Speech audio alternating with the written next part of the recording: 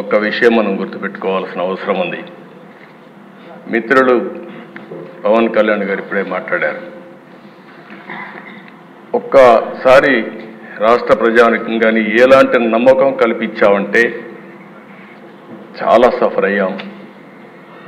రెండు వేల పద్నాలుగులో కూడా కొత్త రాష్ట్రం ఈ రాష్ట్రం అభివృద్ధి కావాలని ముందుకొచ్చి పోటీ చేయకుండా సపోర్ట్ చేసిన వ్యక్తి పవన్ కళ్యాణ్ గారు సామాజిక బాధ్యత కోసం ఆలోచించారు. ముందుకొచ్చారు. తర్వాత దిశ మొన్న ఎలక్షన్లో. ఆయన్ని మేము చూసినప్పుడు చాలా సమస్యలు వచ్చాయి.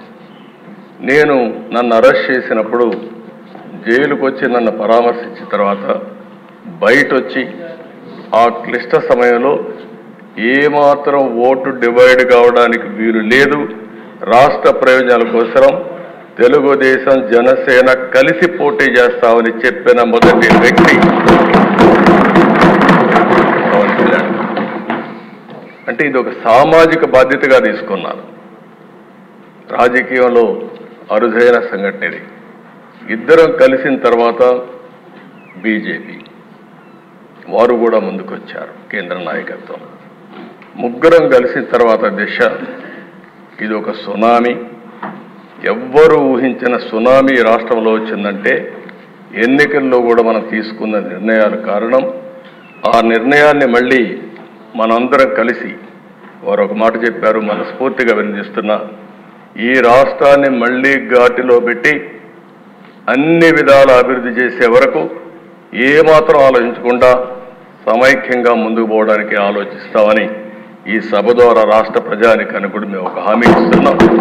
చేస్తామని చెప్పి కూడా మీకు కూడా తెలియజేస్తాను అధ్యక్ష. అధ్యక్ష ఈసారి ఎన్నికలు. రాష్ట్రం కోసం తమ బిడ్డల కోసం భవిష్యత్ తరాల కోసం ప్రజలు ఇచ్చిన తీర్పు ఇది. ఉపాధి కోసం వేరే రాష్ట్రాలకు వెళ్ళినటువంటి పేదవాళ్ళు వాళ్ళే టిఫిన్ క్యారియర్ తీసుకొని వచ్చి ఓటేసి మళ్ళీ తిరిగి చెన్నైకో హైదరాబాద్కో బెంగళూరుకి వెళ్ళారు. ఎక్కడో అమెరికాలో ఆస్ట్రేలియాలో ఆఫ్రికాలో ఉండే తెలుగువారు ఆ ఓటు వేయడానికి లక్షల రూపాయలు ఖర్చు పెట్టుకొని వచ్చారు. కొంతమంది మూడు నెలలు ఐదు నెలలు ఇక్కడ ఉండే మెంబర్స్కి అందరు కూడా అర్థం కాదు కానీ వాళ్ళే వచ్చి వాళ్ళ డబ్బులు ఖర్చు పెట్టుకొని గెలిపించి మనకు చెప్పకుండా వెళ్ళారంటే అది వాళ్ళకు మన మెప్పు కోసం రాలా కానీ రాష్ట్రం కోసం వచ్చారు. ఈ రాష్ట్ర భవిష్యత్తు కాపాడతామనే ఆలోచనతో మనకు ఓట్లేసి తిరిగి వెళ్ళారు ఇంకొక పక్కన దిశ తెల్లవారితో నిద్రలేస్తే ఎప్పుడూ రానివాళ్ళు. నిద్ర లేస్తానే నేరుగా పోలింగ్ స్టేషన్కి వచ్చి అంటే పీక్ పీరియడ్లో ఎంతమంది వస్తారో అంతమందో తెలబడుకొని ఐదారు గంటలు వెయిట్ చేసి రాత్రి పన్నెండు ఒంటి గంట వరకు ఓట్లు వేశారంటే అధ్యక్ష. అది వాళ్ళు చూపించిన చొరవ. వాళ్ళందరికీ నేను ఈ సభ ద్వారా మీ ద్వారా శిరస్సు వంచి పాదాభివందనం చేస్తున్నాను. దిశ ఇలాంటి అనుభవంతో ఇక్కడికి వచ్చాం. దీనికి కారణం ఏంటి? ఒకసారి అధ్యయనం చేసుకోవాల్సిన అవసరం ఉంది. ఐదు సంవత్సరాలు ప్రజలు నరకాన్ని చూశారు. నరకం అంటే చాలామందికి తెలియదు. కానీ కథల్లో చూశాం. అలాంటి నరకాన్ని ఈ రాష్ట్రంలో చూసే పరిస్థితి వచ్చింది. రాష్ట్ర చరిత్రలో అవి ఒక చీకటి రోజులు. ఆస్తులు సెటిల్మెంట్ చేశారు. మామూలు కాదు. భూములు దొరికితే భూముల్ని ముప్పై నలభై సంవత్సరాలుగా సంపాదించిన ఆస్తుల్ని ఎక్కడికక్కడ ఇమ్మంటే మెడ మీద కత్తిపెట్టి రాయించుకున్న సందర్భాలు. ఏ ఆడబిడ్డ మానానికి రక్షణ లేదు. ఇష్టానుసారంగా బిహేవ్ చేశారు. ప్రాణానికి విలువ లేకుండా చేశారు. ఎంత దారుణంగా ప్రవర్తించారంటే అంత దారుణంగా ప్రవర్తించే పరిస్థితి వచ్చారు. కడకు బ్రతుకు కూడా గ్యారంటీ లేదు. మనం క్షేమంగా ఇంటికి తిరిగి వస్తామని ఆశ ఎవడికి లేని పరిస్థితి వచ్చింది. దౌర్జన్య విధ్వంస కబ్జాలు దాడులు కేసులు ఒకటి కాదు దిశ. ఎన్ని విధాల ఇబ్బంది పెట్టాలనో ఇక్కడ ఉండే వాళ్ళల్లో సగం మంది ఎక్కువగా బాధి బాధ్యులు బాధితులు కొంతమంది తక్కువగా బాధితులు అంతే. మానసికంగా కొంతమందిని దెబ్బతీశారు ఆర్థికంగా కొంతమంది దెబ్బతీశారు కొంతమందిని శారీరకంగా. ప్రధాన దిశ మీలాంటి వ్యక్తి పైన అటెంప్ట్ రేపు కేసు పెట్టించే పరిస్థితికి వచ్చారంటే అది తలుచుకుంటే ఇప్పటికి కూడా జీర్ణించుకోలేకపోతున్నాం. కానీ బాధ ఉంది ఆవేశం ఉంది. ఇంకొకసారి చూస్తే మా మెంబర్స్ కూడా చాలా హిస్టరిక్గా కూడా ఉన్నారు. నాకు అర్థమైంది. ఇప్పుడు మా తాడిపత్రి ఉన్నాడు ఏడు అశ్విన్ ఉన్నాడు అశ్విన్. జైలుకు పోయి వచ్చాడు. ఇక్కడే అచ్చెన్నాయుడు ఉన్నాడు జైలుకు పోయి వచ్చాడు. నారాయణ ఉన్నాడు. తిప్పి తిప్పి తిప్పి ఎక్కడికెక్కడికో తీసుకుపోయి అదృష్టం బాగుండా అరెస్ట్ కాకుండా జైలుకు పోకుండా బయట వచ్చాడు ఇవన్నీ సరే రఘురామకృష్ణరాజు ఇంకేమవుతాడో తెలియదు. ఆ రోజు రాత్రంతా నిద్రలేదు. ఆయన కాపాడుకోవడానికి ఎన్ని విధాల ప్రయత్నం చేశామంటే అధ్యక్ష? ఆ రాత్రంతా నెక్స్ట్ డే భగవంతుడు మంచి చూపు చూశాడు కాబట్టి బయట వచ్చాడు కానీ ఈ దుర్మార్గులు ఇష్టానుసారంగా ప్రవర్తించే పరిస్థితికి వచ్చారు. మనం ఇబ్బందులు పడ్డాం. అర్థం లేనటువంటి పన్నులు వేయడం ఇష్టం అన్న దిశ. ఇప్పుడు ఇక్కడికి వచ్చినప్పుడు ఇది గత చరిత్ర. గడిచిన ఐదు సంవత్సరాల్లో జరిగిన విషయాలు కూడా నెమరు వేసుకోవడం చాలా అవసరం. ఇప్పుడే జూన్ నాలుగో తారీఖు వచ్చిన ఎన్నికల ఫలితాలు ఒక కొత్త చరిత్రను సృష్టించాయి. ప్రజా చైతన్యానికి నిదర్శనంగా నిలిచాయి. మీరు చూస్తే దేశ. తొంభై మూడు శాతం స్ట్రైక్ రేట్. యాభై ఏడు శాతం ఈ కూటమి ఓట్లు పడ్డాయి. ఇది నా రాజకీయ జీవితంలో ఏ పార్టీ కూడా నందమూరి తారక రామారావు గారు పార్టీ పెట్టినప్పుడు కానీ తొంభై నాలుగులో కూడా రాలేదంటే అది ప్రజలు మన మీద పెట్టుకున్న నమ్మకం అనే విషయం మనందరం అదే అవసరం అధ్యక్ష ఒక్కొక్క పార్లమెంట్ డెబ్బై వేలు ఎనభై వేలు తొంభై వేలు మెజారిటీ వస్తాయి.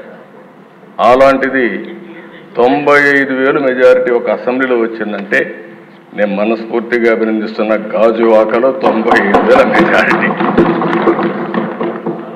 అంటే దీన్ని చూసినప్పుడు చాలా ఆనందం ఆశ్చర్యం వేస్తుంది. దీని వెనకాల కూడా దిశ. చాలా శ్రమ ఉంది.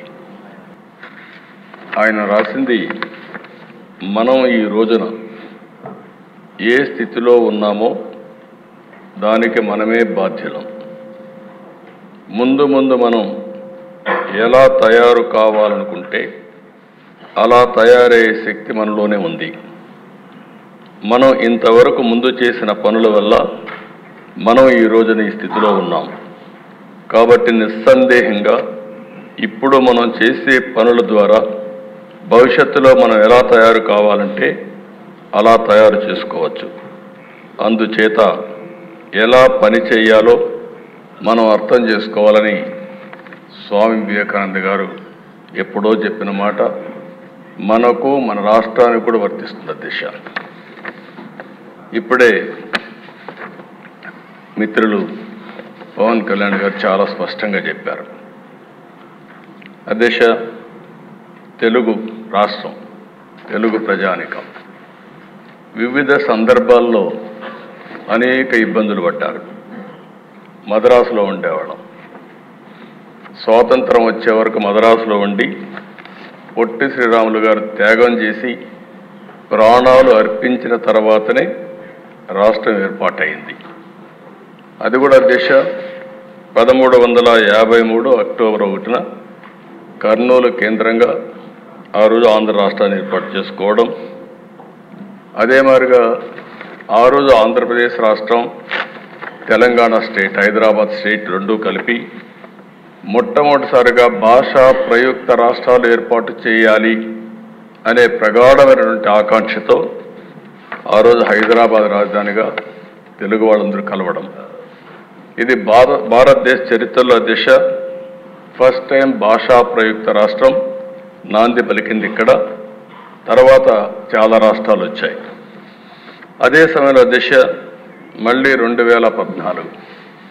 రెండు రాష్ట్రాలు. తెలుగు రాష్ట్రాలు రెండు రాష్ట్రాలుగా ఏర్పడ్డాయి. ఇవన్నీ చూస్తే ఎన్నిసార్లు ఒక పర్మనెంట్ అడ్రస్ లేకుండా మనం ఇబ్బంది పడ్డాము. ఇది ఒక ఆలోచన మాత్రం ఆ దిశ. ఈరోజు మనం చూస్తే పదేళ్ళు అయింది పదేళ్ళు అయితే రాజధాని ఏది అంటే మనం చెప్పుకోలేని పరిస్థితి. అంటే మొన్నటి వరకు మీరు చూసే అధ్యక్ష ఐదేళ్ళు అమరావతి అనుకున్నాం.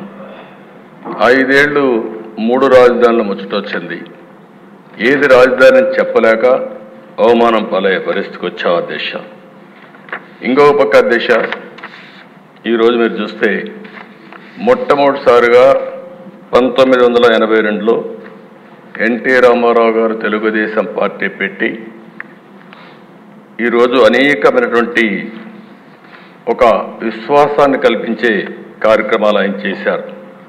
సమిక్షేమం అభివృద్ధి పాలనా సంస్కరణకు శ్రీకారం చుట్టారు.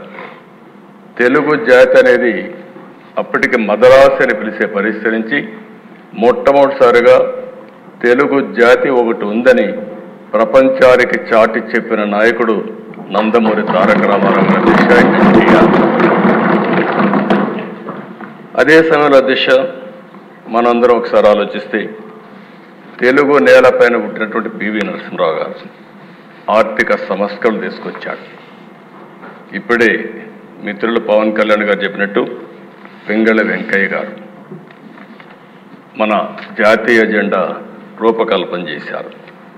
ఇలాంటి చరిత్ర ఉండే మనందరం మనం చూస్తే ఇప్పటికి కూడా ఈ రాష్ట్రంలో అనేక ఇబ్బందులు వచ్చి కనీసం ఈరోజు బడ్జెట్ కూడా పెట్టుకోలేక ఆర్థిక ఇబ్బందుల వల్ల మళ్ళీ ఒక రెండు నెలలు టైం తీసుకొని పెట్టుకోవాలని ఆలోచించే పరిస్థితికి వచ్చాం. ఇంకో పక్క దిశ పివి నరసింహరావు గారు తీసుకొచ్చిన ఆర్థిక సంస్కరణలు ఈ దేశం యొక్క పెను మార్పులకు నాంది పలికింది. అక్కడి నుంచి పబ్లిక్ ప్రైవేట్ పార్ట్నర్షిప్ వచ్చింది. దీంతో బ్రహ్మాండంగా అభివృద్ధి జరగడమే కాకుండా ఈరోజు Viksit Bharat two zero four seven. Narendra Modi గారు ఏదైతే మాట్లాడుతున్నారో నాకు ఏమాత్రం అనుమానం లేదు. రెండు వేల నలభై ఏడుకి భారతదేశం ప్రపంచంలో మొదటి స్థానంలో కానీ రెండో స్థానంలో కానీ ఉండే అవకాశాలు ఉన్నాయి. అది మన చేతుల్లోనే ఉందని చెప్పి కూడా నేను మీకు తెలియజేస్తున్న దిశ. అధ్యక్ష దీనికి కారణం మీరు ఒకసారి చూస్తే ఈరోజు ఒక రెండు ఎగ్జాంపుల్